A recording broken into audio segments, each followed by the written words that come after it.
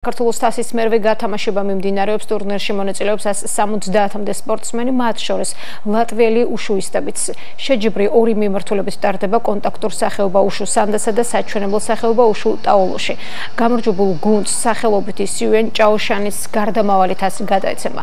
ტურნირის გახსნაზე პერფორმანსი გამართეს ჩინეთიდან ჩამოსულმა ინსტრუქტორებმა. ჩინელი უშუს ექსპერტები საქართველოს სპორტის სამინისტროს მხარდაჭერით იმყოფებიან ისინი თბილისში უშუს უფასო სემინარებს ატარებენ საქართველოს უშუს ეროვნული ფედერაციის წევრი სპორტსმენებისა და მწვრთნელებისთვის.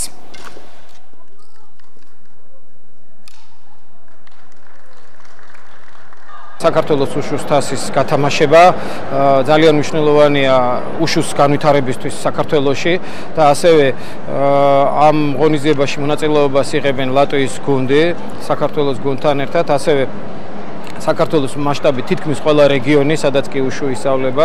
გარდა იმისა, რომ ჩვენ ყოველწლიურად ვატარებთ საქართველოს თასის გათამაშებას, ასევე წლის ბოლოს იმართება საქართველოს ჩემპიონატი, სადაც შერჩევა ხდება ნაკრების კანდიდატების.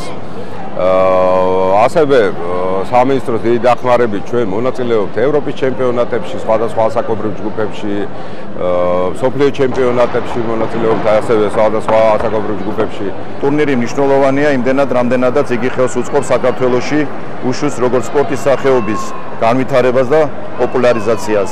ამასთან ერთად სპორტის სამინისტრო მუზრუნველყო ჩინეთის სახალხო რესპუბლიკიდან უშუს ექსპერტების ჩამოყვანა საქართველოსში, რომლებიც 18 მარტამდე უფასო ტრენინგებს ჩაუტარებენ როგორც სპორტსმენებს, ასევე მწვრთნელებს.